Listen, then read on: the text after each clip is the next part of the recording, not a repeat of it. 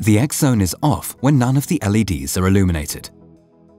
To switch on, insert an X-am. After turning the three silver fasteners, take off the cover and insert the X-am. Replace the cover and close the lower fastener first. The X zone is switched on using the black button.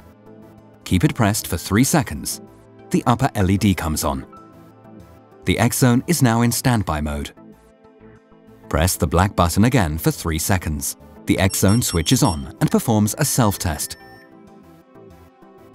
If the error message X1 appears in the X-am display, the X-am is not connected to the X zone. Switch off the X zone and insert the X-am correctly. The illuminated ring now flashes green, indicating that no gas alarms are present. The second LED, connection, lights red to show there are no other X zones in range. The X zone is now ready for use. The illuminated ring flashing red and loud alarms signal gas alarms. A1 or A2 appear in the display, alternating with the gas concentration. Depending on the configuration, the gas alarm can be confirmed by pressing OK.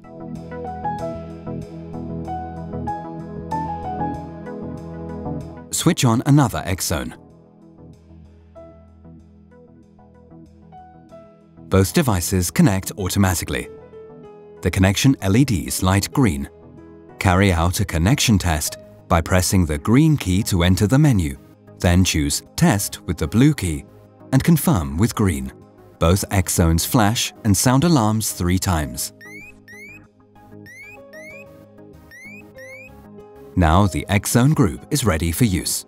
As we know, alarms are sounded by the triggering device flashing red and emitting loud alarms.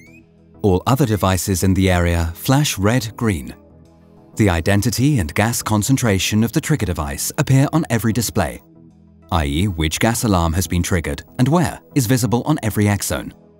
This way, decisions about the necessary measures to be taken can be made outside the danger zone. The charge status of the X zone is shown on the charge LED. If lit green, the X zone is more than two-thirds charged. If the LED is green-red, the charge status is between 1 and 2 thirds. If the LED is red, the battery is less than 30% charged. If the LED flashes, the battery is almost flat and has only 5 to 15 minutes runtime left. The illuminated ring also flashes.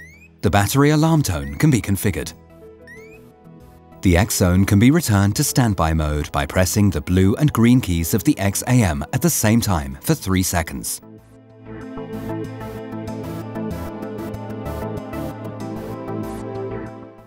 To use the X zone's built-in pump, put the filter and the pump cover on.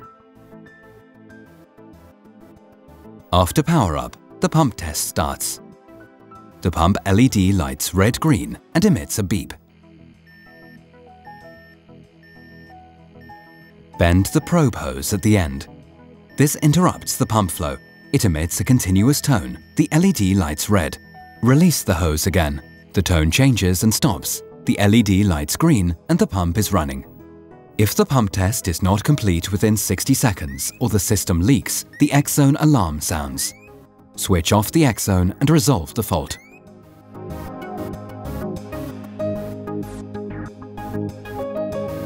To switch the X-Zone off completely, press the black and blue keys for 3 seconds.